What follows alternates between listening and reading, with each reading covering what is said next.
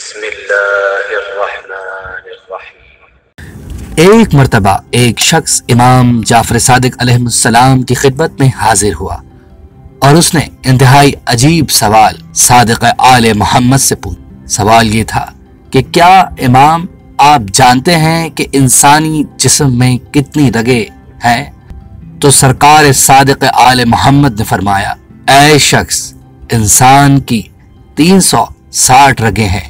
جن میں سے ایک سو اسی رگیں حرکت میں رہتی ہیں، جبکہ باقی ایک سو اسی رگیں ساکن رہتی ہیں۔ اگر ساکن رگوں میں سے کوئی رگ حرکت میں آ جائے یا حرکت کرنے والی رگ میں سے کوئی رگ ساکن ہو جائے، تو انسان سو نہیں سکتا۔ یہ روایت بزرگ واجل علامہ مجلسی بحر الانوار کی جلد نمبر چودہ سے لیا گیا ہے۔ شکریہ۔ امید کرتے ہیں آپ کو ہماری بنائی ہوئی ویڈیو پسند آئی ہوگی۔ ہمارے چینل کو ضرور سبسکرائب کریں۔ اسی طریقے کی انفارمیٹو باتیں آپ کو ہمارے چینل سے ضرور ملیں گی۔ اور بہت سے ایسی چیزیں جو آپ کے لائف میں بدلاؤ لا سکتی ہیں ہمارے چینل سے ضرور ملیں گی۔